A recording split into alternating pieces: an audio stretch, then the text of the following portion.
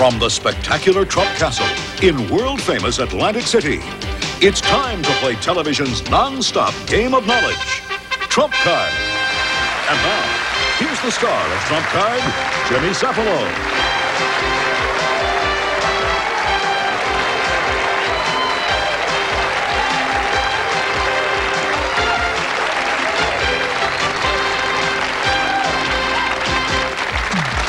Thank you for joining us today for Trump Card. We're here at the fabulous Trump Castle in Atlantic City, where competition is king.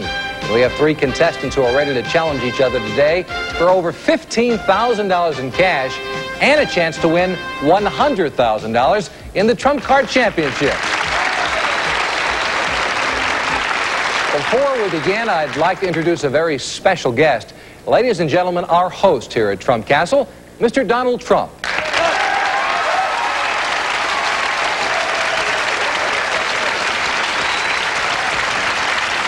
Thank you, Jimmy. It's great to be on the same team as you.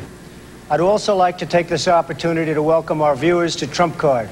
It's an intelligent and challenging game, and in the great tradition of America, if you're smart and persevere, there's a good chance you'll come out on top. I certainly agree with that, Donald. I hope so. All right. Ladies and gentlemen, Donald Trump. Everybody set? Let's play Trump card.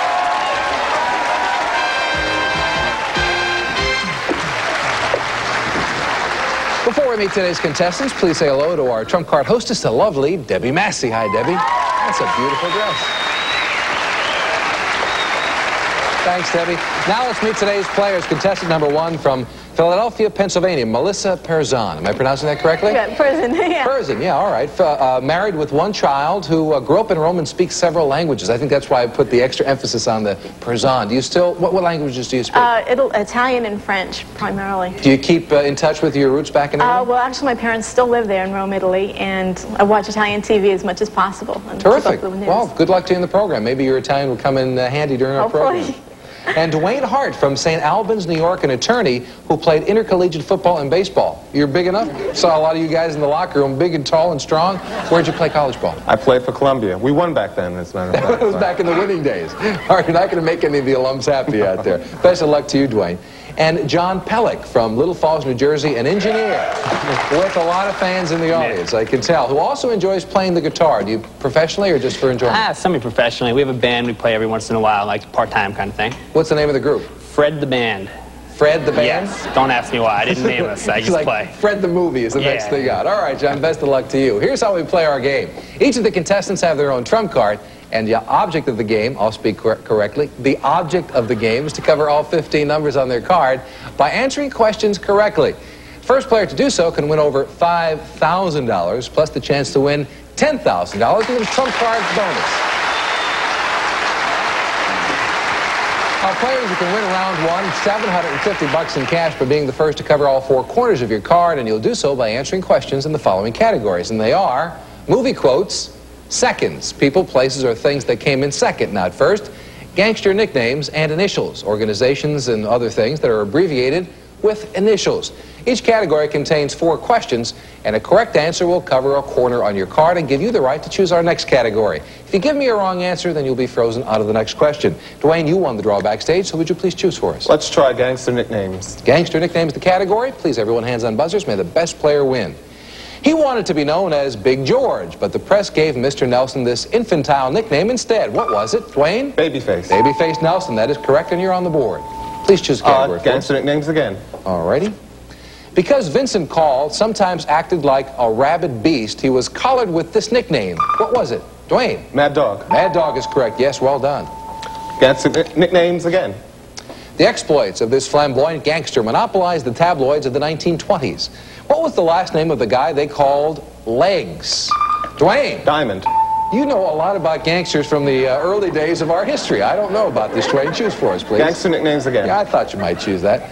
The most infamous and celebrated bank robber of the 30s was dubbed by J. Edgar Hoover as public enemy number one. Name him. John. Uh, John Dillinger. John Dillinger is correct. Yes, you're on the board.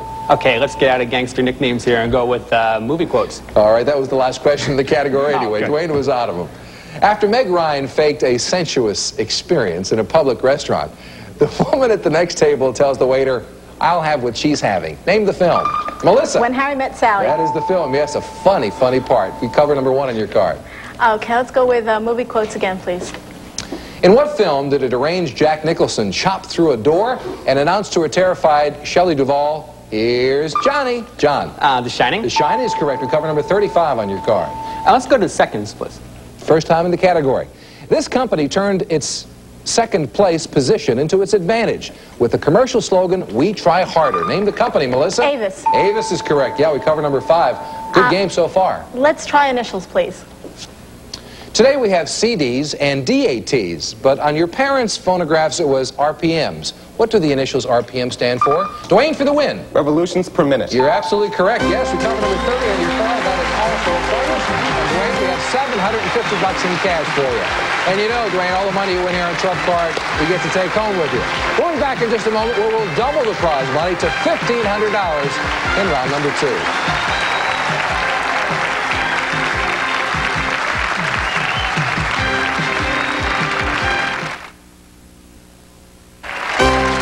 Now, round two of Trump Card with your host, Jimmy Cefalo.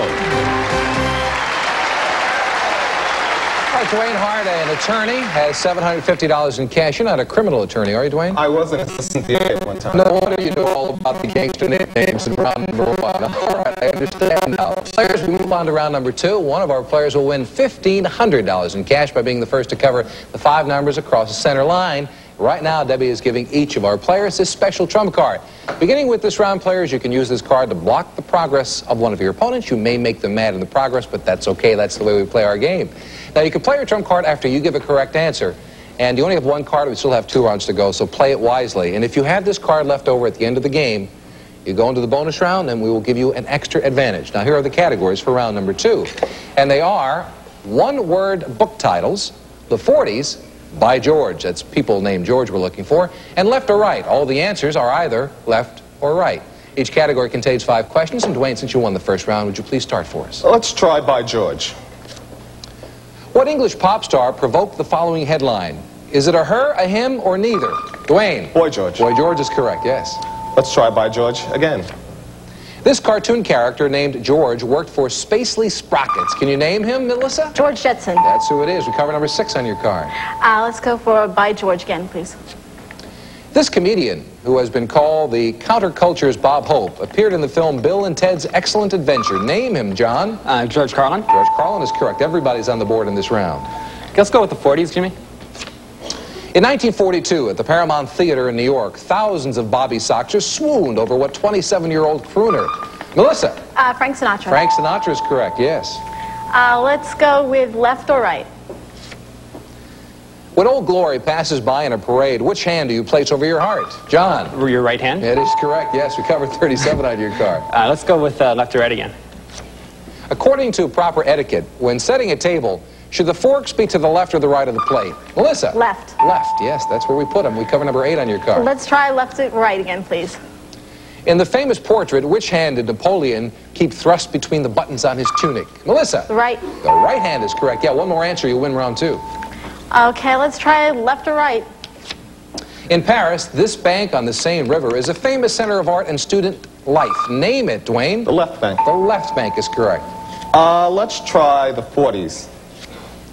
The year 1947 marked the NBC television premiere of this political affairs program, which is still running today. Name it, Melissa, for the win. Uh, meet the press. Meet the Press is correct. Well done. Congratulations, Melissa. Let's see, we've got, uh, you like that left and right category, didn't you? Yeah. Was fairly easy. Let's see, Dwayne, you won 750 in the first round? And Melissa, you won $1,500. John, you know what happens here at Trump Card. We double the prize money all the time. We go to $3,000 in round three when we come back in just a moment.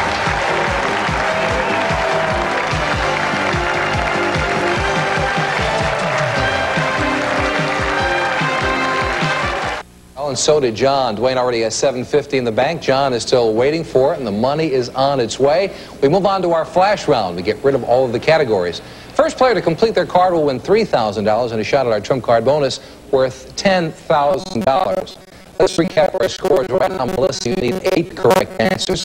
Dwayne, you're nine away, and John, 11 answers will give you the money. Close contest. I want to remind each of our players, you still have your trump cards in front of you to uh, make an opponent mad, as I said earlier, and to block their progress. You can use it after you give a correct answer. All right, everybody. Hands on buzzers. May the best player win, and here we go. What Western film won four Oscars, including Best Song for Raindrops Keep Falling on My Head? Melissa. Uh, Easy Rider. No, sorry. Butch Cassidy and the Sundance Kid. The correct answer. You're blocked out of the next question. In 1956, the first album by a solo artist to sell a million copies came out featuring the hit Day-O. Name the artist. John. Harry Belafonte. That is correct. Cover number 32 on your card. Melissa, you're back into it. In what American city is the Sugar Bowl located? John. In uh, New Orleans. New Orleans, Louisiana, yes. This style of English architecture was named for the royal family in power from 1485 to 1603. What's it called, Dwayne? Tudor. Tudor is correct. This Virginia site was the first permanent English settlement in America. Name it. Melissa. Jamestown. Jamestown is correct. Players are doing well right now. Melissa, you are seven answers away from the money. Let's see, Dwayne, you need eight. John, you're nine away.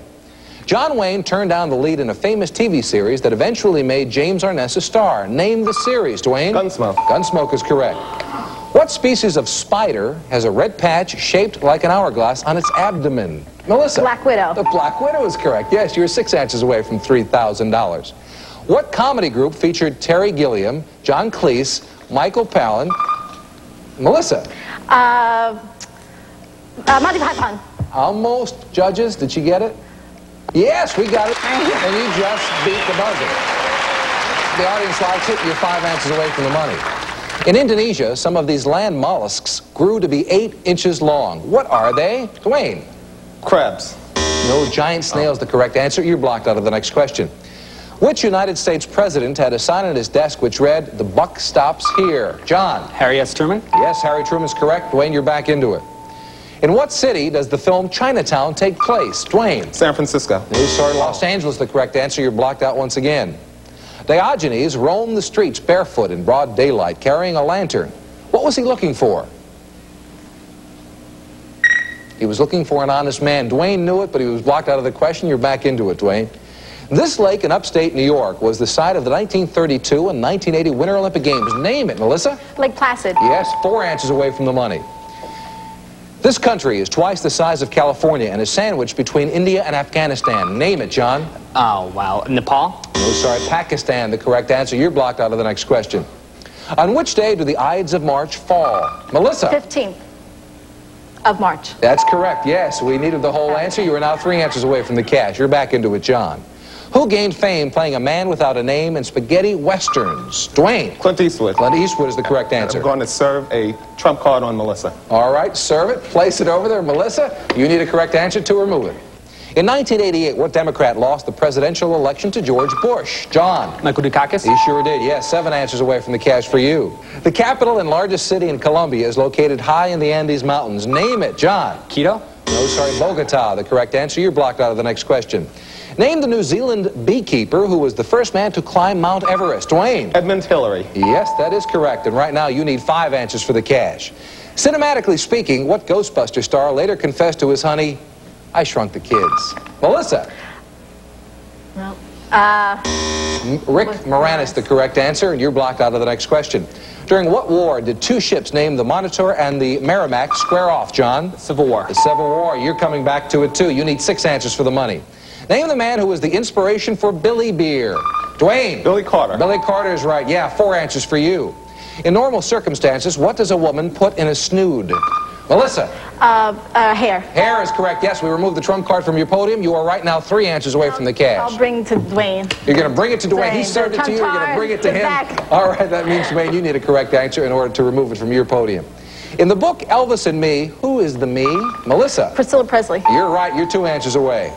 What president wrote the Declaration of Independence? Dwayne. Thomas Jefferson. Yes, he did. We removed the trump card from your podium, and right now you need four answers for the money.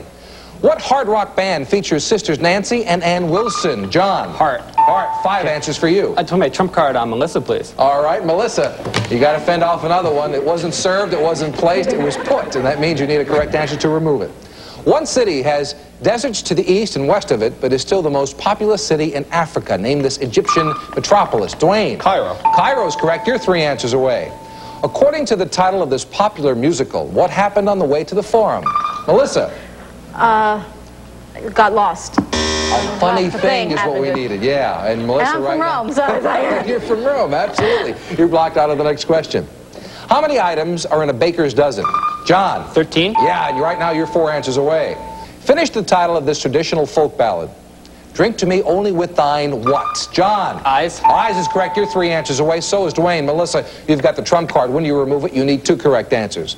According to the old saying, you shouldn't do what to the hand that feeds you? Dwayne. Bite. Bite is correct. You're two answers away from $3,000. Baccarat, Lalique, Tiffany, and Steuben are all famous for making objects of what? Melissa? Glass. Yes, we removed the trump card from your podium. Two answers away for you, too. Although it's a liquid, it's often called the perfect food. What is it? John? Milk. We're right across the board. Two answers will get you the money. In what city would you find Opryland? Dwayne? Nashville. You sure want one answer for you. A male deer is called a buck. A male elephant is called a bull. But what name is given to a male sheep? John? Uh, Ram. Ram is correct. You need one answer. Boys of summer is an expression used to describe professional athletes in what sport, Melissa? Baseball. Yeah, one answer for you. A hydrofoil is meant to be driven on what kind of surface? John for the win. Water. Water is correct. That's one of the Melissa and Dwayne. Melissa, you get 1500 Dwayne, 750 John, in a moment, we're going to tell you how you can add $10,000 to your total. We'll be back in just a moment.